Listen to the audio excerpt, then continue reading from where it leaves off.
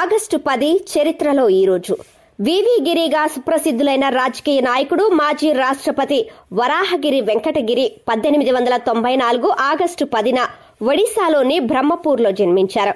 వివి గిరి మన దేశానికి మూడవ ఉపరాష్ట్రపతి నాలుగవ రాష్ట్రపతి. భారతదేశానికి మొదటి తాత్కాలిక రాష్ట్రపతిగా ఉన్నది కూడా ఆయనే.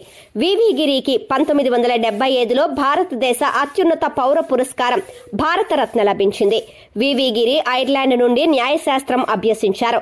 ఐర్లాండ్లో వివి గిరి ఐరిష్ స్వాతంత్ర్య పోరాటంలో భాగమయ్యారు. భారతదేశానికి తిరిగి వచ్చిన తరువాత భారత స్వాతంత్ర్య పోరాటంలో చురుగ్గా పాల్గొన్నారు. ఆయన భారత జాతీయ కాంగ్రెస్ సభ్యుడు అయ్యారు. తర్వాత గాంధీ నేతృత్వంలోని వివిధ ఉద్యమాలలో పాల్గొన్నారు. ఆయన ముఖ్యంగా కార్మిక హక్కుల కోసం పనిచేశారు. అందుకే ఆయన్ని కార్మికుల ప్రతినిధిగా గౌరవిస్తారు. స్వాతంత్ర్యం తర్వాత వివి గిరి అనేక ముఖ్యమైన పదవుల్లో నియమితులయ్యారు. కేంద్ర మంత్రిగా ఇంకా ఉత్తరప్రదేశ్ కేరళ కర్ణాటక రాష్ట్రాలకు గవర్నర్గా కూడా పనిచేశారు. పంతొమ్మిది వందల అరవై ఏడులో భారత ఉపరాష్ట్రపతిగా నియమితులయ్యారు. పంతొమ్మిది వందల అరవై తొమ్మిదిలో అప్పటి రాష్ట్రపతి డాక్టర్ జాకిర్ హుస్సేన్ మరణానంతరం తాత్కాలిక రాష్ట్రపతిగా వివి గిరి వ్యవహరించి ఆ తరువాత పంతొమ్మిది వందల అరవై తొమ్మిది నుండి పంతొమ్మిది వందల డెబ్బై నాలుగు వరకు రాష్ట్రపతిగా ఉన్నారు. వివి గిరి పంతొమ్మిది వందల ఎనభై జూన్ ఇరవై మూడున చెన్నైలో మరణించారు.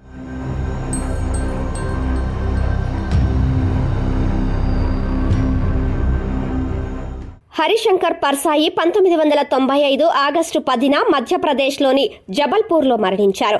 హరిశంకర్ పర్సాయి ప్రసిద్ధి హిందీ వ్యంగ్య రచయిత. వ్యంగ్యానికి కళా ప్రక్రియ స్థాయిని అందించిన మొదటి హిందీ రచయిత పర్సాయి. పంతొమ్మిది వందల ఇరవై నాలుగు ఆగస్టు ఇరవై రెండున జన్మించిన హరిశంకర్ పర్సాయి కథలతోనే రచనలు ప్రారంభించారు. కానీ ఆయనకి గుర్తింపు ప్రధానంగా ఆయన చేసిన వ్యంగ్య రచనల కారణంగా వచ్చింది. ఆయన అనేక నవలలు కథలు వ్యాసాలు వ్యంగ్య రచనలు చేశారు. సమాజంలోని వివిధ సమస్యలను వ్యంగ్యంగా హాస్యం ద్వారా తన రచనలతో హైలైట్ చేశారు. పర్సాయి ప్రధాన రచనలో విక్లాంగ్ శ్రద్ధాకా దౌర్ తేన్కి బాత్ ఔర్ థీ మరియు నీ తల్లేకి డైరీ ఉన్నాయి. సరళమైన భాష సరళమైన శైలి ఆయన రచనలో కనిపిస్తాయి. తీవ్రమైన సమస్యలను సైతం పాఠకులు సులభంగా అర్థం చేసుకునేలా ఆయన రచనలు ఉంటాయి. పర్సాయి చేసిన సాహిత్య కృషికి అనేక అవార్డులు వరించాయి. పంతొమ్మిది వందల ఎనభై రెండులో ఆయనకు సాహిత్య అకాడమీ అవార్డు లభించింది.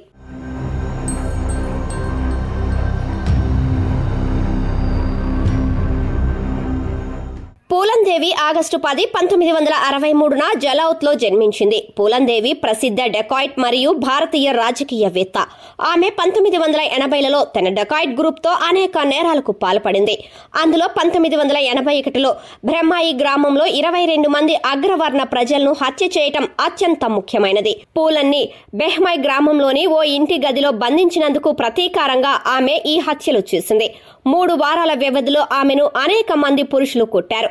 అత్యాచారం చేసి అవమానించారు. అనంతరం గ్రామంలో వివస్త్రను చేసి ఊరేగించారు. తర్వాత పూలందేవి ఈ మూడు వారాల బందీ నుండి తప్పించుకుంది. ఆ తర్వాత ఆమె బ్రహ్మాయి గ్రామంలో ఇరవై రెండు మంది అగ్రవర్ణ ప్రజలను చంపింది. పంతొమ్మిది వందల తొంభై మూడులో పూలందేవి లొంగిపోయి జైలుకు పంపబడింది. ఆ తర్వాత ఆమె రాజకీయాల్లోకి ప్రవేశించి పంతొమ్మిది వందల తొంభై ఆరులో సమాజ్వాదీ పార్టీ టికెట్ పై మీర్జాపూర్ నుంచి లోక్సభ ఎంపీగా ఎన్నికయ్యారు. జూలై ఇరవై ఐదున రెండు వేల ఒకటిన పూలందేవి ఢిల్లీలోని ఆమె నివాసం వెలుపున కాల్చి చంపబడింది. బ్రహ్మాయి ఘటనకు ప్రతీకారంగా పోలందేవిని చంపినట్లు షేర్ సింగ్ ట్రానా చెప్పారు. పోలందేవి కథపై చాలా పుస్తకాలు వచ్చాయి. ఆమె జీవితం ఆధారంగా అనేక సినిమాలు కూడా నిర్మించారు. అందులో ముఖ్యమైనది పంతొమ్మిది వందల తొంభై నాలుగు చిత్రం బాండిట్ క్వీన్.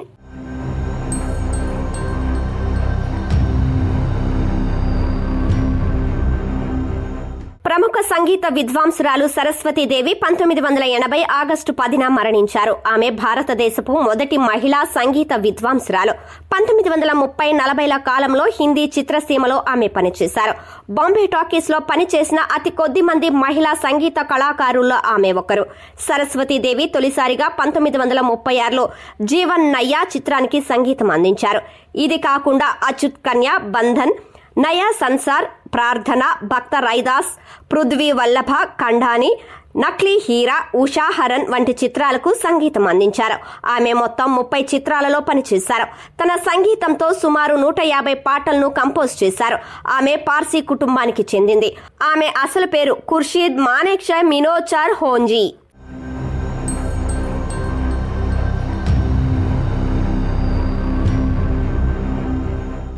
రెండు వేల మూడు ఆగస్టు పదిన రష్యన్ వ్యోమోగామి యూరి మెల్నిచకో అంతర్జాతీయ అంతరిక్ష కేంద్రంలో వివాహం చేసుకున్నారు. ప్రపంచంలోనే ఇలా చేసిన మొదటి వ్యక్తి అతనే. అంతరిక్షం నుంచి వీడియో కాల్ చేయడం ద్వారా భూమిపై ఉన్న తన స్నేహితురాలు కత్రినా డెమిత్రెవ్ను వివాహం చేసుకున్నారు. వివాహ సమయంలో మెల్నిచంకో అంతర్జాతీయ అంతరిక్ష కేంద్రంలో ఉండగా అతని స్నేహితురాలు టెక్సాస్లో ఉంది. వివాహ సమయంలో మెల్నిచెంకో తన అధికారిక రష్యన్ స్పేస్ ఏజెన్సీ యూనిఫామ్ ధరించాడు. అతని కాబోయే భార్య వెడ్డింగ్ గౌన్ను ధరించింది. రెండు వేల మూడు ఏప్రిల్లో రష్యా ఎక్స్పెడిషన్ సెవెన్ మిషన్ను ప్రారంభించింది. ఈ మిషన్లో యూరి మెల్నిచెంకో ఎడ్వర్డ్ లూతో కలిసి అంతరిక్షంలోకి వెళ్ళారు ఈ మిషన్ ఆగస్టు మొదటి వారంలో పూర్తి కావాల్సి ఉంది. యూరి మిషన్ నుండి తిరిగి వచ్చిన వెంటనే వివాహం చేసుకోవాలి అనుకున్నాడు. మిషన్ కోసం బయలుదేరే ముందు కూడా వారి వివాహ తేదీని ఆగస్టు పదిగా నిర్ణయించారు. కానీ వారి మిషన్ అక్టోబర్ వరకు పొడిగించబడింది. వివాహానికి సంబంధించిన అన్ని సన్నాహాలు అప్పటికే పూర్తయ్యాయి. కాబట్టి యూరి మెల్నిచెంకో అంతరిక్షం నుండి తన స్నేహితురాల్ని వివాహం చేసుకోవాలని నిర్ణయించుకున్నాడు.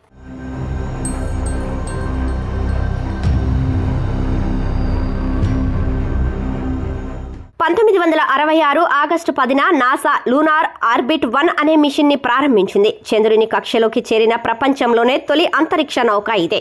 ఈ మిషన్ లూనార్ ఆర్బిట్ ప్రోగ్రామ్లో భాగం. దీని ఉద్దేశం చంద్రుని ఉపరితలాన్ని ఫోటోలు తీయటం భవిష్యత్తులో మానవ మిషన్ల కోసం సరైన ల్యాండింగ్ సెట్లను ఎంచుకోవటం. ఆగస్టు ఇరవై ఎనిమిదిన అంతరిక్ష నౌక రెండు వందల ఐదు ఫోటోలను పంపింది. అదే వ్యోమ నౌక ఆగస్టు ఇరవై మూడున భూమి ఫోటోలను కూడా పంపింది. ఇది చంద్రుని కక్ష నుండి తీసిన భూమి యొక్క మొదటి చిత్రం. అపోలో మిషన్ల కోసం సురక్షితమైన ల్యాండింగ్ సైట్లను గుర్తించడానికి ఈ మిషన్ దోహదపడింది. ఈ మిషన్ అక్టోబర్ ఇరవై తొమ్మిది పంతొమ్మిది వందల అరవై ఆరున ముగిసింది.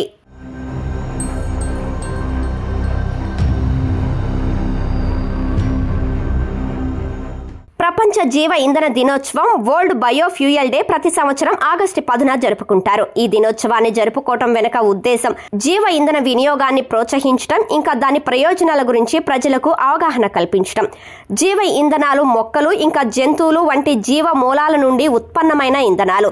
సాంప్రదాయ శిలాజ ఇంధనాల కంటే జీవ ఇంధనాలు పర్యావరణానికి తక్కువ హానికరం. ఇవి కార్బన్ ఉద్గారాలను తగ్గించడంలో సహాయపడతాయి. తద్వారా గ్లోబల్ వార్మింగ్ ఇంకా వాయు కాలుష్యం తగ్గుతాయి. జీవ ఇంధనాలు పునరుత్పాదక వనరుల నుండి తీసుకోబడతాయి. ఇవి స్థిరంగా ఉంటాయి. ఇంకా భవిష్యత్తులో అయిపోవు. వ్యవసాయ పంటలు పంట అవశేషాలు వృక్ష సంపద నుండి వాటిని ఉత్పత్తి చేయవచ్చు. పద్దెనిమిది వందల తొంభై మూడులో సర్ రూడాల్ఫ్ డిజిల్ మొదటిసారిగా వేరుశెనగ నూనెను ఉపయోగించి ఇంజిన్ను విజయవంతంగా నడిపిన సంఘటన జ్ఞాపకార్థం ప్రపంచ జీవ ఇంధన దినోత్సవాన్ని జరుపుకోవటం ప్రారంభమైంది.